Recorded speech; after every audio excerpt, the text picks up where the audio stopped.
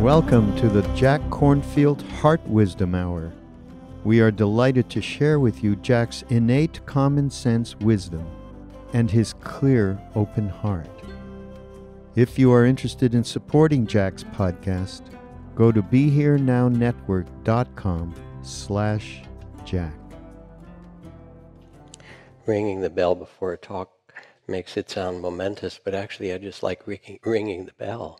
Um, we got it on the opening day of this retreat hall. We were thinking we needed a bell, and then magically, Zen Center sent us, San Francisco Zen Center sent us a gift, said, We think you need a bell. And we did. So thank you, Zen Center.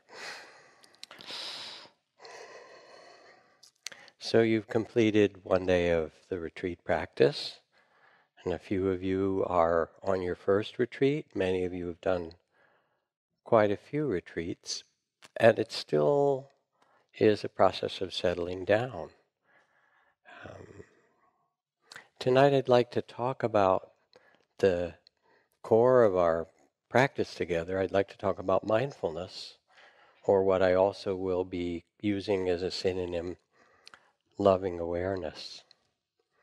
And if you read in the Buddhist texts, they begin, there's the most wonderful way for living beings to realize uh, well being and liberation and overcome sorrow and grief and lamentation and despair. I think that uh, Spring talked about that. And it's the, the practice of mindfulness. And in other texts, it says mindfulness is all helpful, or mindfulness is the gateway to liberation and freedom. And so I want us to think together, those of you who've been practicing for a long time, those who are newer, about this, what, what this means, and what it means for us. How does this operate? There are two ways to function in the world. One is without mindfulness. This is sometimes called samsaric or cyclic or cyclic. Uh, the way, the cyclic way of living, because without mindfulness, without some sense of awareness, when experiences arise, what arises with them is habit, reactivity. We get fearful, we get caught, we're blind, we like it, we don't like it. And without mindfulness, we live in a kind of um, somewhat unconscious set of patterns um, that simply enact the conditioning around us, the cultural conditioning, the educational conditioning, and so forth. Um, and as we do, not only is there not much sense of awareness and freedom, but unfortunately, those build because they're based in its delusion um, on fear, on a sense that we can't trust the world, that we have to protect ourselves. It's called the body of fear. And it grows. And just coming back from teaching with Trudy in China, being in Asia, talking to people in Singapore and Korea and so forth, um, as those societies have modernized, there's a tremendous amount of stress. There's all the kind of great prosperity that's happened, but there's also extremely high suicide rates for their children in Korea and Singapore and parts of China who are being driven to be ambitious and kind of fulfill the goals of their parents or of the society. And then there's the grief that comes and the struggle. All of this is a kind of samsaric way of being where things continue to operate, but there's not a sense of inner freedom of mindfulness, of being able to step back and really listen in a wise way. And then if you read what is called the fire sermon, one of the first major talks of the Buddha, um, he begins This world is burning. This world is on fire, which is something that I think you can taste in the air here, so it's not just metaphorical. But then he goes on with in what way, what way is this world burning? It's burning with the fires of greed, It's burning with the fires of hatred and ignorance. It's burning with the fires of delusion. Um, and these fires cause immense suffering. And we can see those forces as they operate in the world and to a certain extent in our own lives when we're caught in greed and grasping and hatred and fear and ignorance and confusion. Um, that's the samsaric nature, the repetitive nature of unconsciousness. After his enlightenment, as the myth tells it, the Buddha surveyed the world with the eye of compassion, all four quarters of the world, and saw that there were beings suffering everywhere in different ways from delusion and greed and fear and and he saw that it would be possible to teach them a way that brought inner peace, liberation, wakefulness, ease, a sense of trust, graciousness. And the way that he taught was to offer what we're doing here the training and practice of mindfulness. Now, whether you're a long term practitioner or whether you're somewhat new, you don't have to wait for more years to find freedom, and you don't have to go to a long retreat in Thailand or Burma or go to the Himalayas. Freedom and well being is available exactly where you are. I mean, where else would it be? This very body and this very mind is the place of liberation. It's the place we can get entangled and lost and habitual and repetitive and reactive and fearful. And it's also the place where trust, graciousness, wakefulness, compassion also can be born. And as we find these, or as we mature into them over the years of practice for many of you, we also then bring these qualities to the world that so much needs them. And you're all familiar with the passage from Thich Nhat Hanh where he says, when the crowded Vietnamese refugee boats met with storms or pirates, if everyone panicked, all would be lost. But if even one person on the boat remained centered and calm, it was enough. It showed the way for everyone to survive. And so, as you train and practice in this great art of mindfulness and loving awareness, you become that person on the boat of the world that so much needs it. The invitation, however many years of practice that you have um, done, is has two sides to it. One side, which uh, Spring spoke about this morning, is an invitation to ease. This is from Zen Master Ryokan, the most beloved poet in Japan, of Japanese history.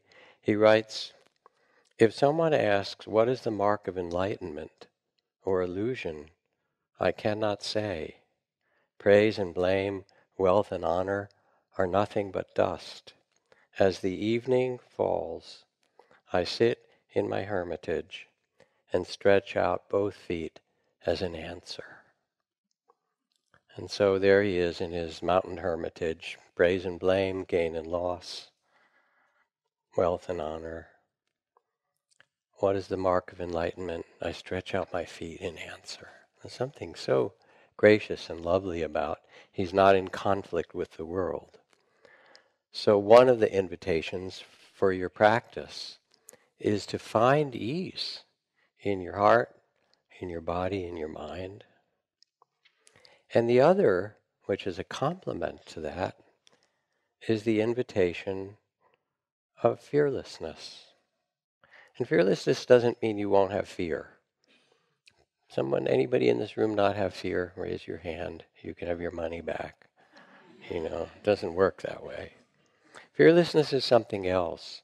It is the steadiness or courage and the discipline to be present for this world with graciousness and ease on one side, but also with your full being.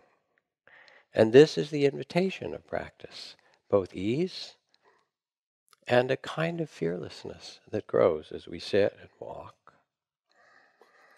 Also, you know, think about where we're going in the spiritual path.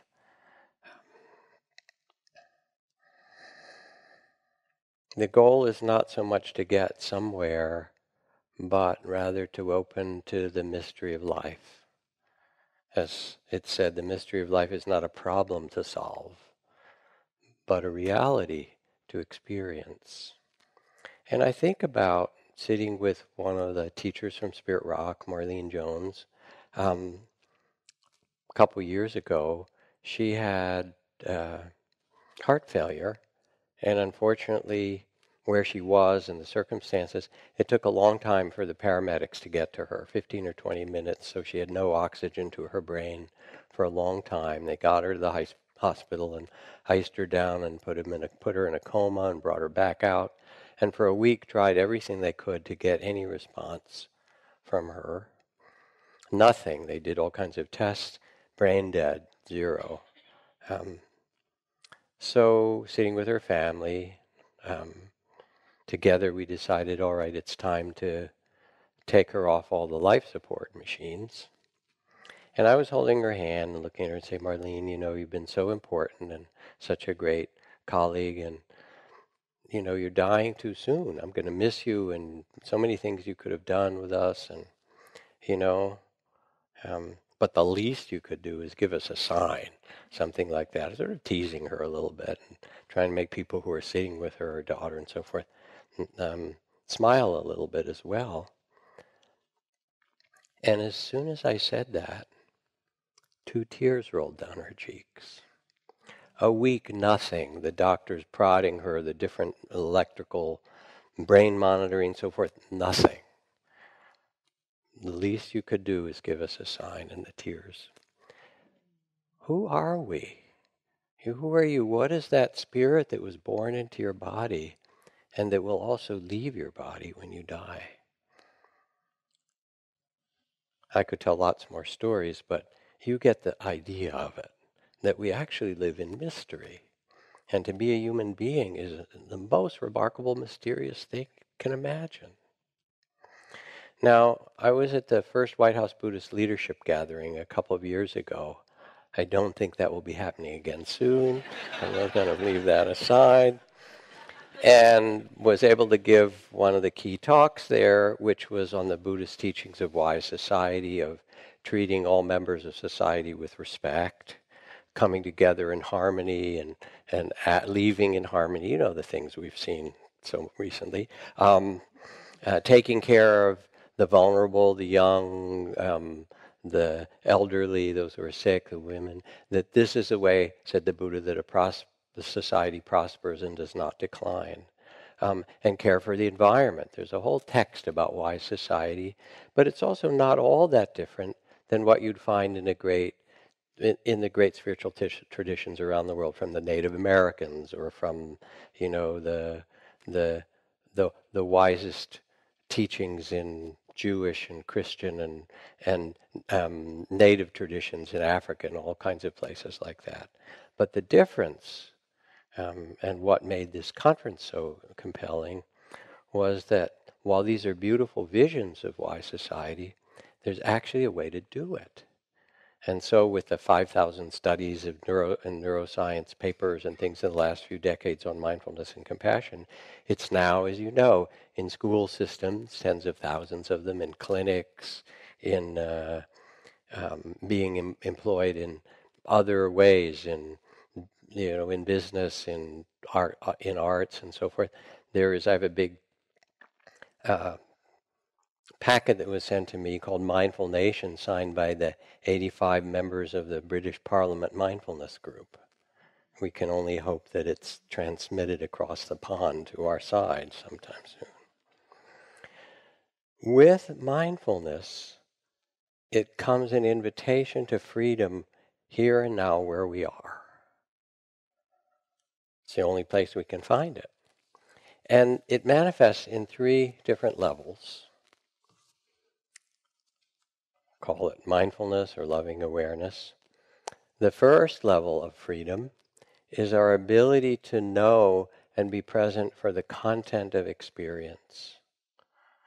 So we're sitting with our breath and our body, and uh, we have tension and pain and pleasure and ease um, and tingling and heat and fire. Um, and we learn how to sit with it. We can name it gently. This is tingling, this is tension. These are the different experiences we have. But as we sit and the body starts to open, we become aware of the content of our body experience. These are all the sensations and feelings and so forth that we that make up our body. And what grows with this in neuroscience is called the win- window of tolerance. Because we live in a society that is pretty much terrified of pain. We live in a, cult- a culture of comfort. Too cold, turn up the heat. Too hot, turn on the air conditioning. You know, um, do whatever you can to make yourself comfortable. And if you're uncomfortable, the problem is out there. But here, um, first of all, anybody in the room not have discomfort or pain in their life in spite of all those attempts to keep it at bay.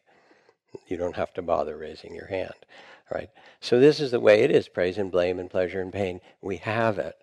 And so if we can actually be with the content of our experience, we start to find a freedom already. Freedom with pain, freedom with tingling and tension and hot and cold. And instead of being as reactive, mindfulness allows us to be present for the, that experience. Um, and of course, it can get more extreme. Trudy and I had a dinner. We were in Hawaii visiting some friends, and this world famous magician named David Blaine was at dinner doing some card tricks that just I couldn't imagine how he did it. He said he loved doing them in front of, especially in front of scientists. He showed us some videos. He'd done it with Stephen Hawking's and Bill Gates, and they were kind of going crazy. Like, how could you do that? What's the what's the physics of this? I just said this is really good magic, you know. But anyway.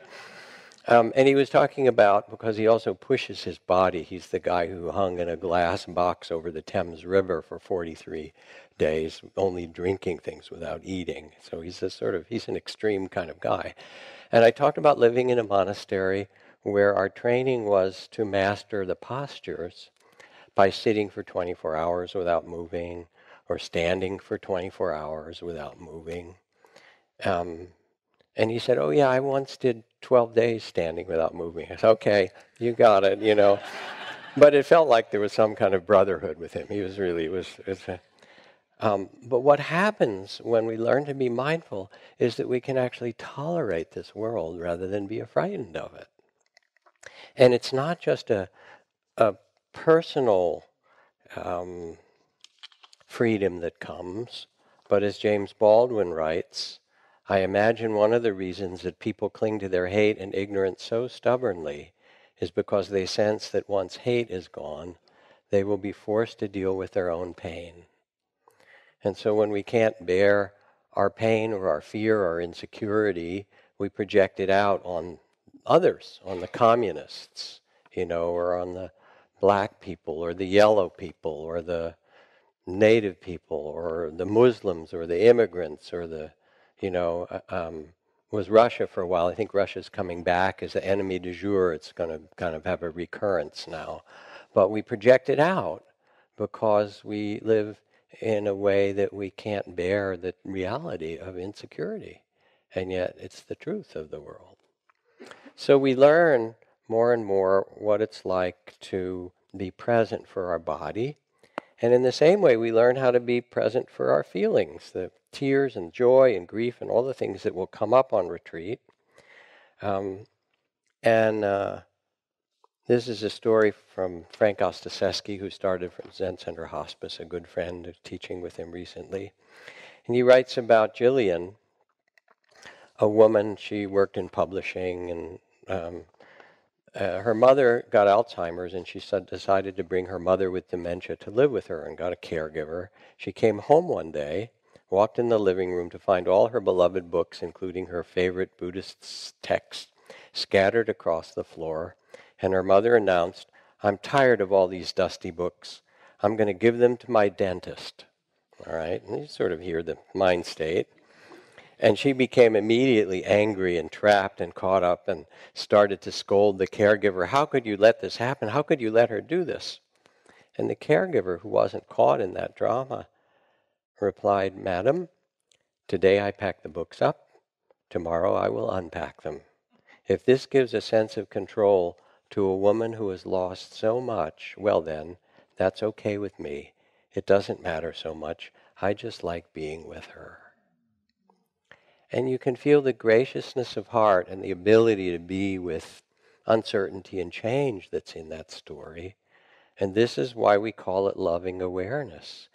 We start to learn a graciousness with the body experience, with the feelings that we have, um, with the mind states that come. Because we'll have all kinds of views come here. You're doing well, your mind tells you. You're not doing well. The world is a mess. Yeah, but it's so beautiful, you know, and everything in between because it has no pride and it just keeps spit, spitting out stories and plans and wise things and fearful ones and beliefs and so forth.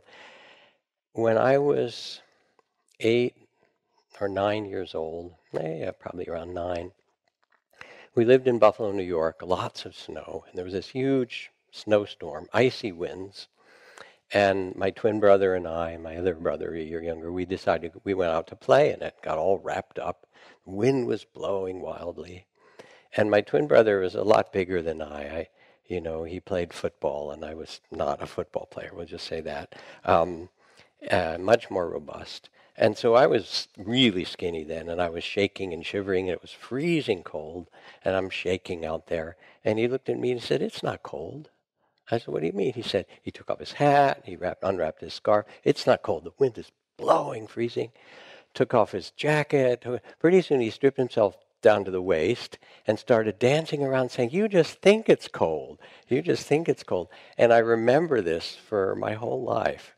There was something about him, even as a young boy, knowing that mind states determine how we live in this world, and I didn't have to be caught in, oh, it's terrifying and it's cold and I'm frightened and I'm shivering and I have to go inside. Um, so, as we become aware of the content of experience and can see the stories we tell and the beliefs, we go, oh, that's a belief, that's a story, how interesting. But we don't have to get caught in it. Now, the next level of mindfulness is mindfulness of the process. And you, especially who've been practicing for some time over these months and years, as you quiet your mind and open your heart, the sense of freedom of being able to be with experience begins to shift because you start to look at the process of body and mind and senses in the world. And what you see is that it's all impermanent. It's all arising and changing and passing away and selfless in the sense that you don't choose your thoughts. I hope not, anyway. Most of them in there you wouldn't choose. Um, you don't choose your feelings very much. Um, you certainly don't choose your body sensations. And you see that it's ephemeral, insecure, subject to change, subject to pain. This is the way it is and that everything you pay attention to arises for time and vanishes. All of it. In the time you listen to this one sentence, 50,000 cells will have been born in your body and 50,000 will have died. So that's a billion in a day. Your body's always dying and being reborn and remaking itself, as is your whole idea of yourself.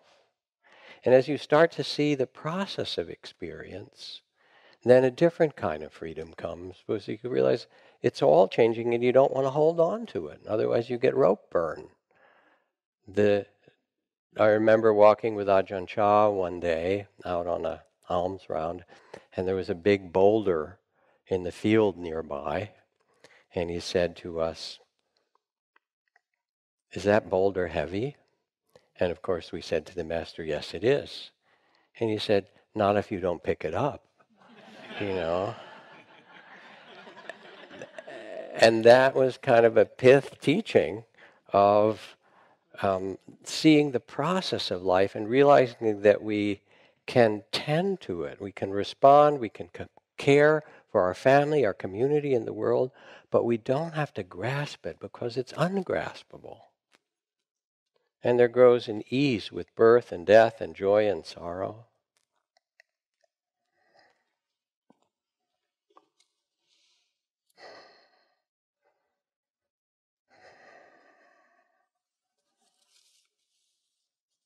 So the second level of freedom comes when we start to see the nature of things.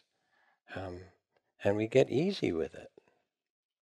Again, Frank Ostaseski tells a talk about a woman who died at Zen Hospice, and one of her sons, her son was uh, 12 years old, Down syndrome, and they were afraid to bring him Tommy because um, they didn't know how he would understand his mother's death. But Frank said, you know, let's try it out. And then the father said, well, maybe we should talk to his therapist. And Frank said, bring the therapist along. We'll kind of, we'll work it out. So anyway, Tommy went in to see his mother and stood there for a bit. Everybody was frightened that he'd freak out. And he looked at her and he said, um, what is gone? Just kind of in wonder. What is gone? And then he looked at his mother for a while, and Frank said, What do you think, Tommy? And he started to talk about the Transformers movies, where one thing would transform to another, and she died, maybe she'll turn into something else. Very wise. And he said he stood there with him, realizing that he was trying to understand in his own way. And then he did a kind of remarkable thing. Frank said, Is there anything else you want to say to your mother? or do with your mother? And he said, Tommy went over. First, he touched her very gently on her cheek, and then he began to smell her. And he sniffed her whole body from head all the way down to her feet. And Frank said he remembered one time he was driving in New England, and a car ahead of him had hit a deer, killed it, and there was a fawn with this mother. And there was the there was the deer that had died, the mom on the side of the road, and there was the fawn coming and sniffing its mother, trying to understand what happened. And he said he stood there, and it was, it was so tender and so mysterious to have him just go and be there and smell his mother. And then he said, "Yes, okay," and then he walked out. I mean, this is us. We're in this mystery of birth and death. And to know the process of things gives a profound sense of freedom that it is natural to be born, it's natural to die, it's natural to have birth and death and joy and sorrow and praise and blame and gain and loss, and there grows a graciousness and an understanding. And then the third level of mindfulness that happens is the mindfulness of consciousness itself. Content, process consciousness. So that when my teacher Ajahn Chah, who had practiced as a monk in the forest for about 10 years, very ardently, you know, in, in those days the forest had tigers and everybody got malaria pretty much and it was and he did all these austere practices and lots of deep meditation and had visions and profound insights and so forth. He finally went to see the greatest master of that time, another Ajahn named Ajahn Mun, told him all about his practices and said, Do you have any guidance for me? And Ajahn Mun looked back at him and says, Yes, Chah, you missed the point. He said, Those are just experiences. Dissolve your body into light, have a great vision, have some deep insight, overcome pain and pleasure, and so forth. Those are like movies. You get a war movie and a documentary and a romantic comedy, a love story. They all come and go. The only question for you to ask for your freedom is to whom do these happen? So turn your attention from the content or even the process of the experience back to the knowing and become the one who knows. And this invites a shift of identity. You live in illusion and the appearance of things, says Kalu Rinpoche, a great old Tibetan Lama. There is a reality, but you do not know this. When you remember, you will discover that you are nothing And being nothing, you are everything. That is all. So there's something for you to reflect on for the next nine days. Um, what it's pointing to is this. Let me see if I can say it much more simply. Because this is, this is really a key to liberation. When you look in the mirror, you notice you've aged, right? We all have that experience, okay. Losing its fur and sagging and doing the things that aging happens, wrinkling and all those things. But the weird thing that's very common is you don't necessarily feel older. You know how common that experience is. And that's because it's only your body that's aged. And your body exists in time. It grows, and a little child and a, you know, a, a, a, an older child and a teen and a young adult, and it goes on, and then it gets older and it dies. But the awareness that's looking at that body in the mirrors doesn't exist in time. And it says, oh, well, how are we doing at this stage of life? Hmm, lost some more fur, you know, or whatever commentary on it is. I wonder how much longer this one will last. This, because you, you know, you get it from Avis and then you have to turn it back in or something like that, right? It's just how it works. So you start to look into the mystery of who are you, and you turn your attention back to become the awareness itself, to become, to look into who, who are you, and to become the knowing, the one who knows. And you know this already in your cells. You know this in your being. We know this. Alice Walker writes, one day I was sitting there like a motherless child, which I was, and it came to me that feeling a part of being, feeling of being a part of everything. And I knew uh, if I cut a tree, my arm would bleed, and I laughed and I cried and I run all around the house. When it happens, you just can't miss it. And walking in the high mountains, listening to a piece of sacred music, making love, sitting there with someone who's dying, or being there at the birth of a new human being. It's a really wild thing. Here's another person, you know, coming out of someone's body. It's wild. And you go, okay, all right, um, I don't really have the kind of intellectual answer, but I'm present for this mystery of life itself coming out of coming out of nothing. And you start to become the witness.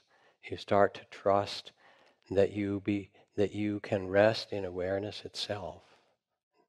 Um, and this level of mindfulness gives you, as Ajahn Mun said, this is the level that gives you the greatest freedom of all, the freedom to sit with birth and to sit with death and when you have this freedom, then I think of my good friend and colleague and teacher Maha Ghosananda, who was the Gandhi of Cambodia and nominated for the Nobel Prize many times and, and told these stories so often.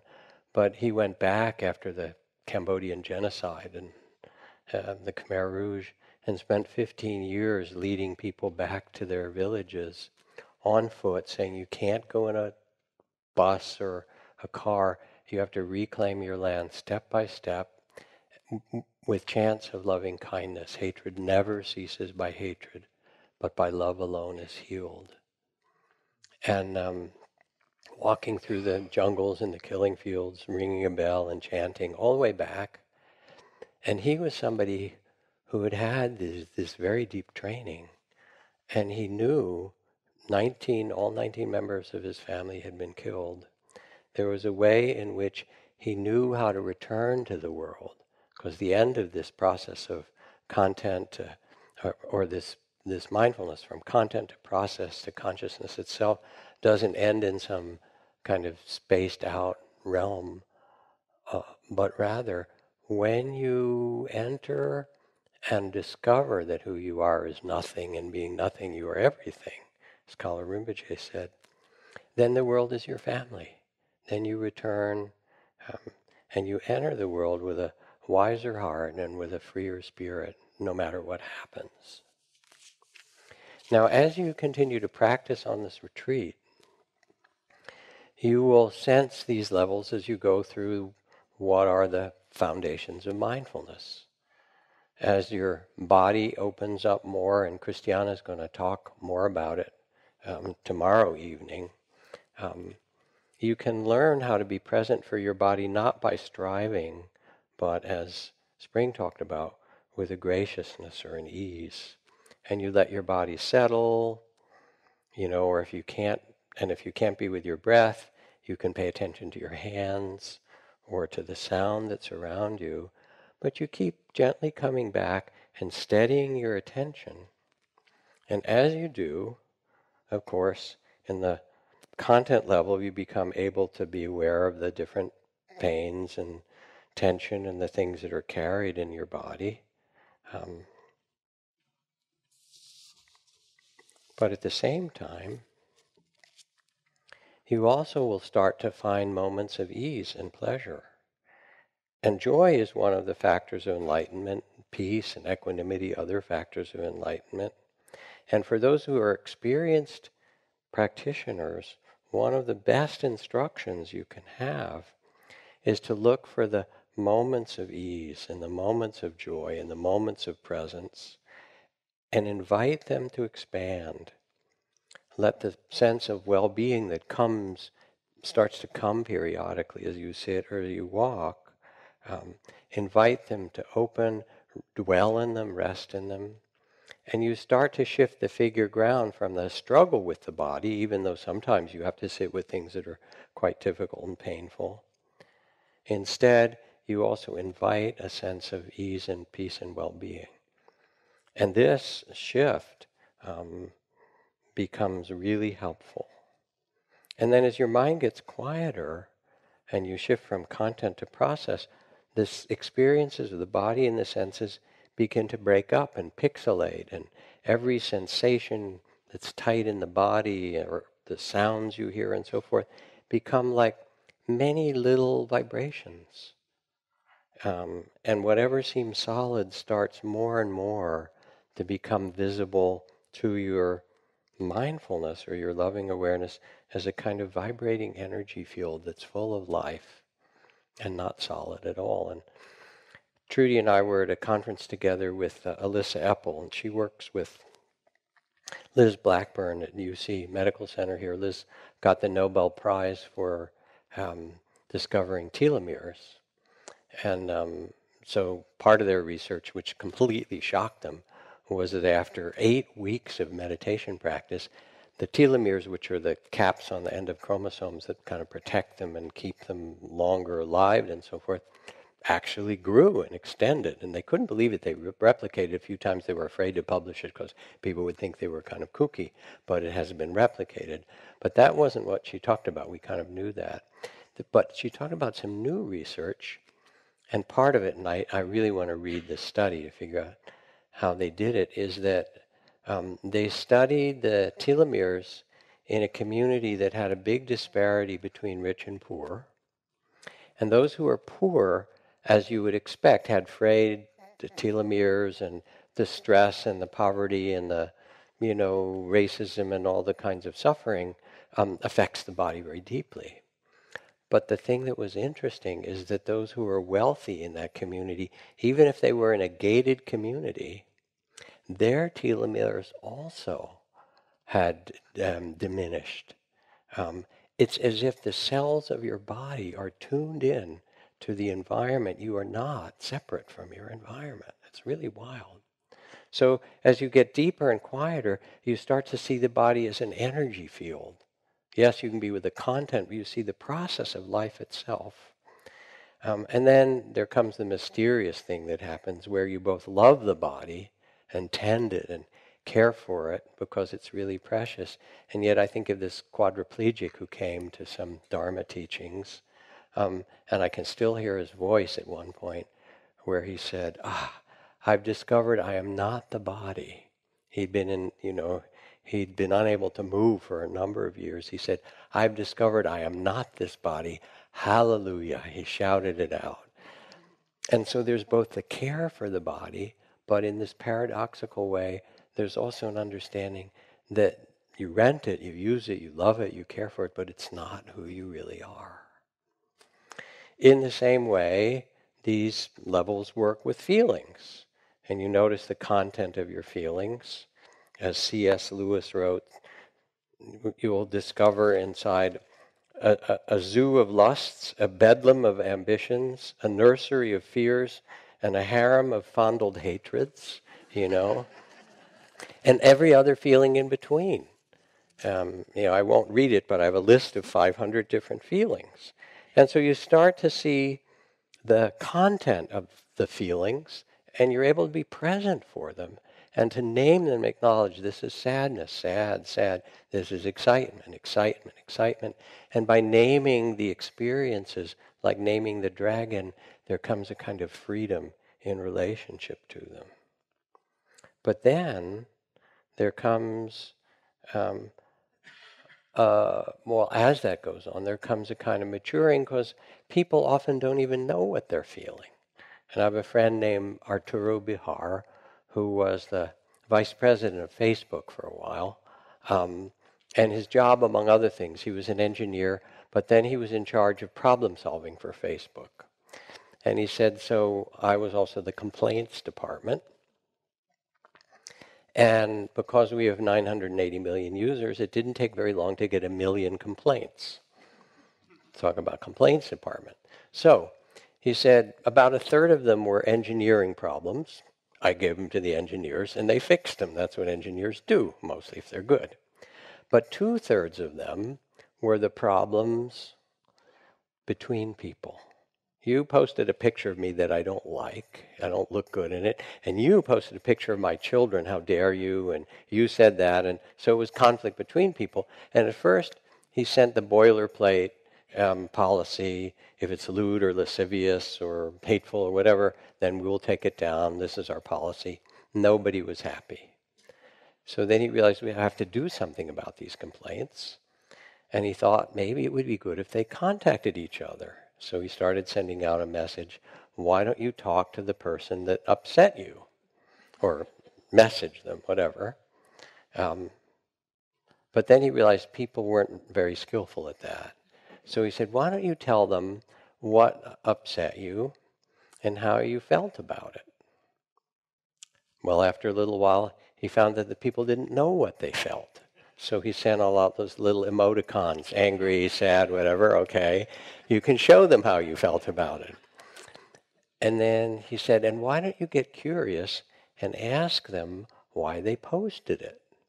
And then the people who answered would say, Well, I thought you looked good in that picture you know, or I love your children. I thought it was a great thing. I'm so sorry.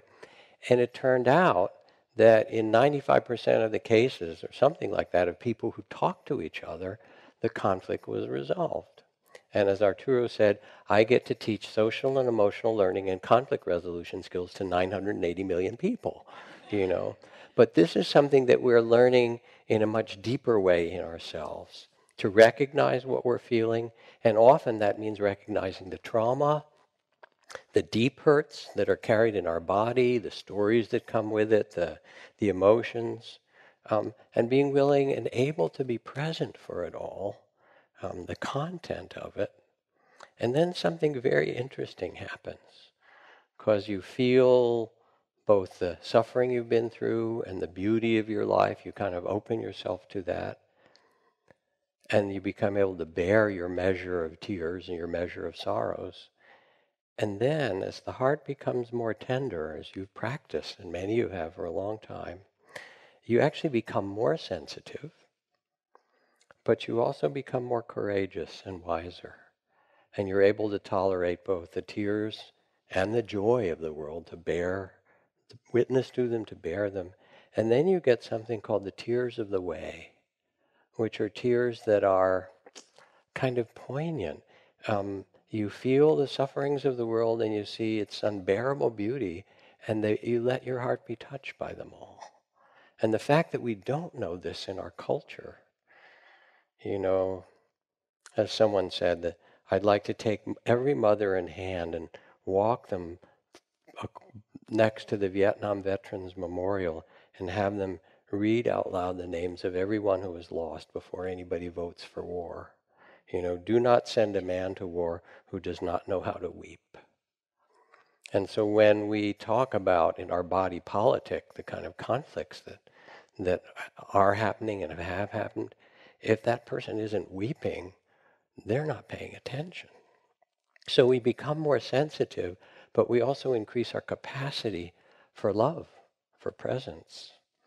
And as we do, we start to see the river of feelings that make up human life fear and longing and love and grief and loss and delight and you know the feelings of connection and creativity and we can bow and name them fear is like this longing is like this love is like this sadness is like this um, connection is like this and we start to inhabit or feel this is the nature of human incarnation and we see the process of life itself rather than taking it so personally.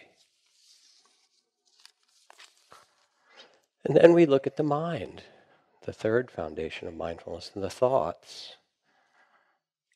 And this, of course, becomes really important as those of you who practice for a long time and have matured, because we're really talking about how we live and embody this as well as on retreat. And the Buddhist text, it says, Who is your enemy? Mind is your enemy. No one can harm you worse than your own mind untrained. Who is your friend? Mind is your friend. No one can help you more than a trained and tamed mind, not even the most loving parents or loving members of your family. And so you start to see the stories and the attitudes, you get the content of it, um, and the whole inner dialogue you know, that you build your sense of self and world out of. And it's kind of sometimes rather alarming for those who come on their first retreat. It's like you're stuck in Motel 6 late at night and the shopping channel's on and you can't turn it off. And you get all this. And you start to realize that 95% of what's in there is reruns. You know, they're the same bad show as from yesterday or good show or whatever. They keep repeating themselves. The mind secretes thoughts like the salivary gland secretes saliva. Just does. But you also begin to notice the attitudes that you glom onto or that you get attached to. This is right and this is wrong and so forth. You start to see those different thoughts and attitudes. And then, because you've been practicing for a while, you get to do what my beloved Trudy has taught me about, which she calls an attitude adjustment where you see, okay, this is an attitude, but it actually doesn't have my best interest in mind. And you actually begin to realize that you can shift from one particular view or attitude to another. Um, and so you start to know the content and the stories, and you don't believe them so much. You don't take them so seriously. The stories of unworthiness or the stories of grandiosity you know, the stories of success or failure. You know what your mind does, all of those kinds of things. And there comes a shift of identity where you're not so much identified with your thoughts. This becomes more the process. And so there's that wonderful story that I like to tell of Ram Dass, you know, coming back from India with his beard and beads and so forth, as Baba Ram Dass teaching, and the woman in the front row waving her hands and saying, well, Ram Dass, you're teaching all these Hindu things, Hindu guru, but aren't you Jewish? And Ram Dass said, yeah, I am actually. He says, yeah, I was bar mitzvahed, as I was bar mitzvahed, Jewish. And Ram Dass says, and I, there's a lot I love about Judaism. He said, the Hasidic masters are like the Zen masters. If you read Buber's Tales of the Hasidim, they're fantastic. And the Kabbalah has all these maps of the levels of consciousness that are a, a great match to all the great Hindu teachings I like and so forth. He wanted, he said, but remember, I'm only Jewish on my parents' side, you know. And he was, of course, very witty as well as deep. Um, because your identity is not your parents.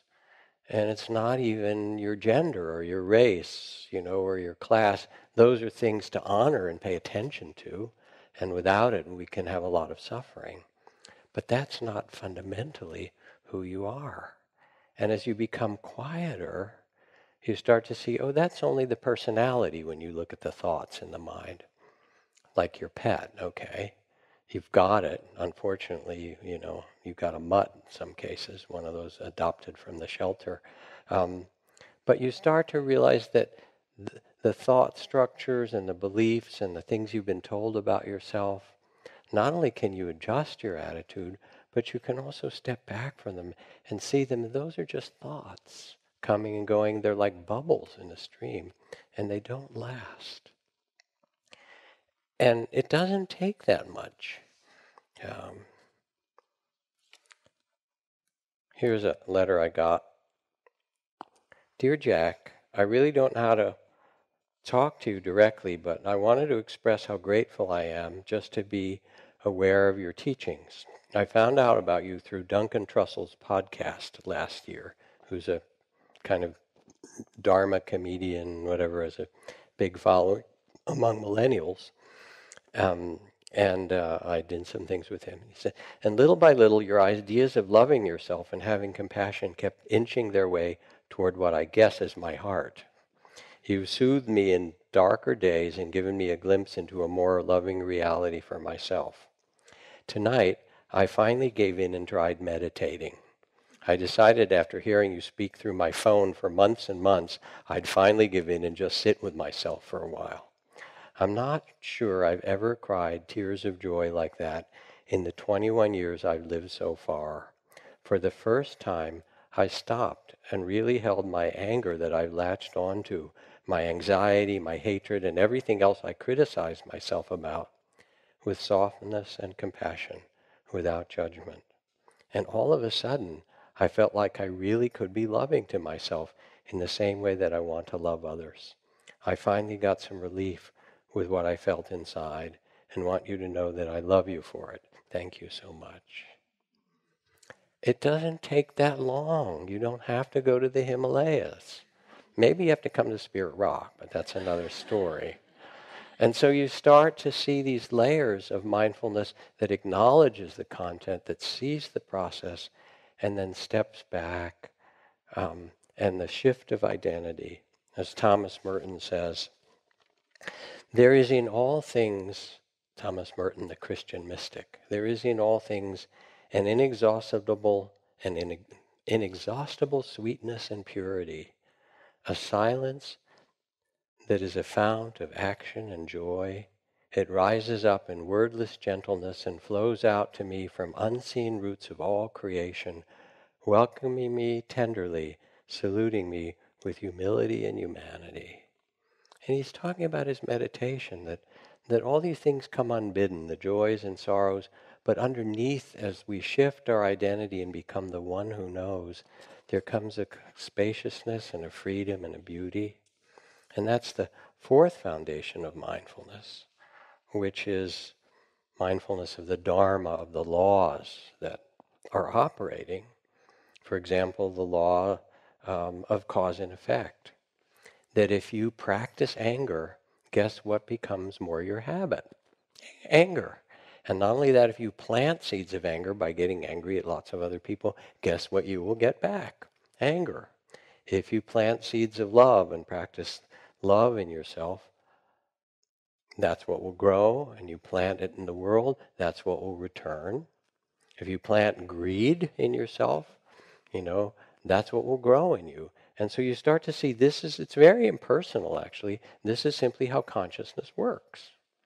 And then you begin to see the emptiness of it.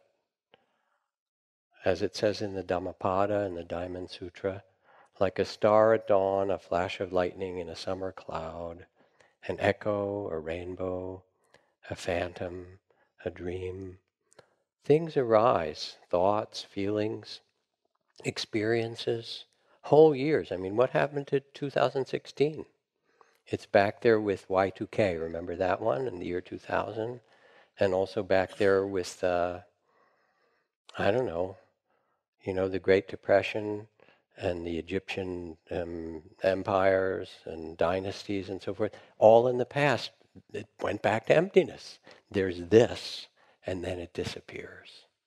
And as you get quiet, you start to see, whoa, wait a second, it seems very solid, but all there is is now. All there is is this present. And you become more and more then able to rest in the awareness of this. You become the one who knows.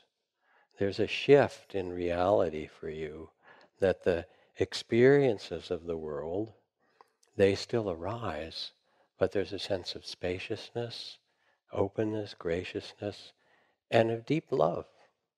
As my teacher Nisargadatta in Bombay, the old guru, said, wisdom sees that I am nothing, and love sees that I am everything, and between these two my life flows.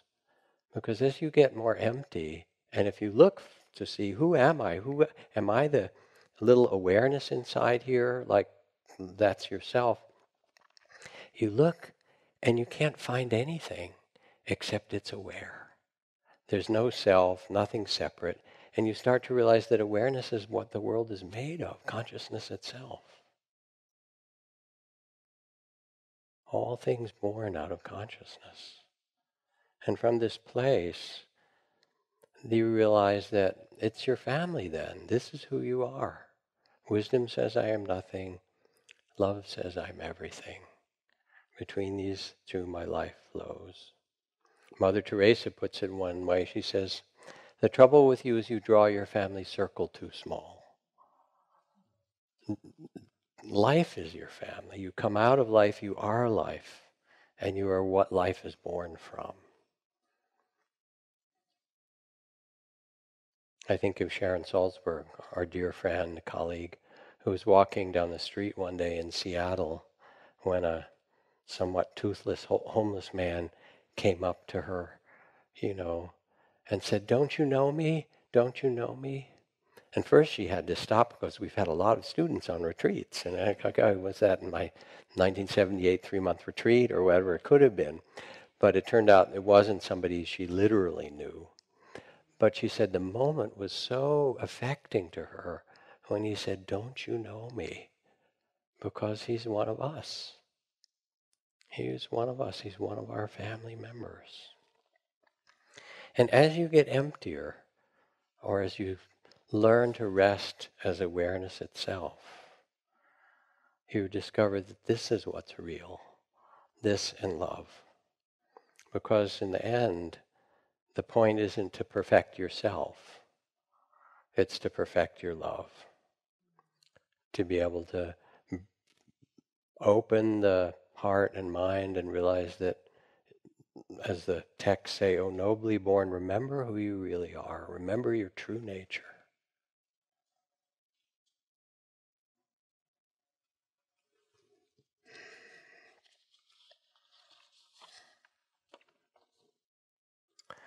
Put down the weight of your aloneness and ease into the conversation. Everything is waiting for you. The kettle is singing even as it pours you a drink. The cooking pots have left their arrogant aloofness and seen the good in you at last. All the birds and creatures of the world are unutterably themselves. Everything is waiting for you. This is David Whyte.